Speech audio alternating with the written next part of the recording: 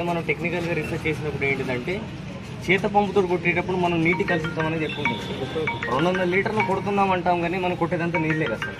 Completely water dilution ఉంటుంది. అయితే దీంట్లో వచ్చేసి పది లీటర్ నీటిలో ఎకరా మందు.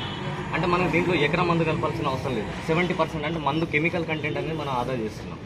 ఐదు నిమిషాలు ఎకర అవుతుంది. తర్వాత ఇది ఏంటంటే మనం మనిషిలాగా అక్కడిక్కడ వదిలేయడానికి అయితే కంప్లీట్ థర్మల్ ఇమేజింగ్ కూడా పెట్టినాం మేము దీంట్లో. ఎక్కడ మందు పడుతుంది పడట్లేదు కూడా తెలుసుకోవచ్చు ఒకసారి మనం ఒక వన్ ఎకర్ ల్యాండ్ ఉన్నప్పుడు మ్యాప్ చేసేస్తే అదే వర్క్ చేసి వచ్చేస్తుంది ఫైవ్ మినిట్స్ వన్ ఎకర్ అనేది క్లోజ్ అయిపోతుంది ఇప్పుడు మనకి ఏంటంటే లే లేబర్ అవైలబిలిటీ లేదు ప్రజెంట్ వర్క్ ఇంకోటి వచ్చేసి టైం చాలా సేవ్ అయింది one acre five to ten minutes five to ten five to minutes ten five to ಈ ಟೆನ್ ಭತ್ತ ಗಿತ್ತ ಜಾಸ್ತಿ ಮಾಡೋರಿಗೆ ಐದು ನಿಮಿಷದಲ್ಲಿ ಮಾಡ್ಕೊಂಡು ಬಂದ್ಬಿಡೋದು ಮೂರುವರೆ ನಿಮಿಷದಲ್ಲಿ ಕೂಡ ಮಾಡ್ಬೋದು. ಆದ್ರೆ ಇನ್ನೊಂದು ಬಂದ್ಬಿಟ್ಟು ಅದು ನಾವೇ ಆಪರೇಟಿಂಗ್ ಮಾಡಲೇಬೇಕು ಅಂತ ಏನು ಇಲ್ಲ. ನಾವು ಒಂದು ಜಾಗದಲ್ಲಿ ಕೂತ್ಕೊಂಡು ಜಿ ಪಿ ಎಸ್ ಎಲ್ಲ ಫಿಕ್ಸ್ ಮಾಡಿಬಿಟ್ಟು ಆನ್ ಮಾಡಿಬಿಟ್ರೆ ಅದೇ ಹೋಗ್ಬಿಟ್ಟು ಎಲ್ಲ ಕ್ಲೀನ್ ಮಾಡಿ ಎಲ್ಲಿ ಫಿಕ್ಸ್ ಮಾಡಿರ್ತೀವಿ ಅಲ್ಲಿ ಬಂದ್ಬಿಡುತ್ತೆ ವಾಪಸ್. ಅಂತ ಮೊಬೈಲೆಲ್ಲ ತೋರಿಸ್ಬಿಡತ್ತೆ ಮ್ಯಾಪ್ ಅಷ್ಟಕ್ಕೆ ನಾವು ಲಾಕ್ ಮಾಡ್ಕೊಂಡ್ಬಿಟ್ರೆ ಅದನ್ನೆಲ್ಲ ಮಾಡ್ಕೊಂಡ್ಬಂದು ನಾವು ಎಲ್ಲಿ ಆನ್ ಮಾಡಿರ್ತೋ ಅಲ್ಲಿಗೆ ಬಂದು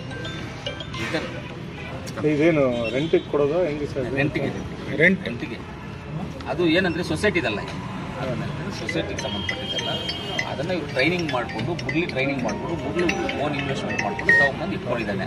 ರೈತರಿಗೆ ಯಾರಾದರೂ ಬೇಕಂದ್ರೆ ಅವರು ಹೊಡ್ಕೊಡ್ತಾರೆ ಚಾರ್ಜ್ ಮಾಡ್ತಾರೆ ನಾವೇನೋ ಚಾರ್ಜ್ ಮಾಡ್ತಾರೆ ಹಂಗೂ ರೈತರಿಗೆ ಯಾರಿಗಾದ್ರು ರೈತರಿಗೆ ಯಾರಿಗಾದ್ರು ಇಂಥ ಮಿಷನೇ ಬೇಕು ಅಂತ ಹೇಳಿದ್ರೆ ಅವ್ರು ತಂದು ಕೊಡ್ತಾರೆ. ಮಿಷಿನ್ ಬೇಕಾದ್ರೆ ಅವ್ರು ಕೊಟ್ಟು ಟ್ರೈನಿಂಗು ಕೊಡ್ತಾರೆ ಟ್ರೈನಿಂಗ್ ಟ್ರೈನಿಂಗು ಕೊಟ್ಟು ಅವ್ರಿಗೆಲ್ಲ ಕಳ್ಸಿಕೊಟ್ಬಿಟ್ಟು ಕೊಡ್ತಾರೆ. ಮಿಷನು ತಂದು ಕೊಡ್ತಾರೆ ಅವರು. ರೈತರು ಅವರೇ ಓನಾಗ ಅವರೇ ಮಾಡ್ಕೊಂಡು ಅದು ಅವ್ರಿಗೆ ಸಂಬಂಧಪಟ್ಟಿದ್ದು ಸೊಸೈಟಿಗೆ ಸಂಬಂಧಪಟ್ಟಿದ್ದಲ್ಲ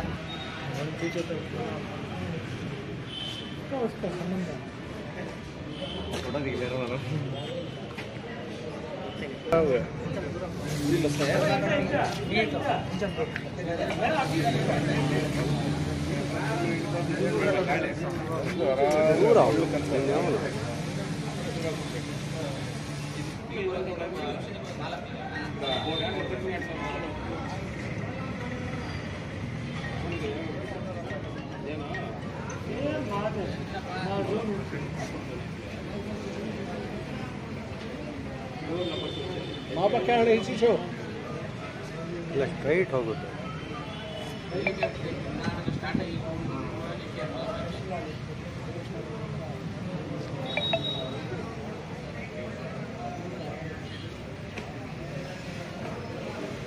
ಈ ಸಂಗೀತ